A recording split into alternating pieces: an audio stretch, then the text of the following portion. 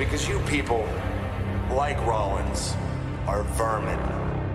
Seth Rollins, I want you to understand exactly what's going to happen to you at TLC. Here comes Rollins! You're gonna drop the ball. And now the emotional outburst by Seth Rollins. You're gonna slip up. Oh, and Ambrose with that gas mask to the face. You will finally lose control of the Intercontinental Championship. But nobody worry, because your precious, prestigious championship will fall safely into my hands.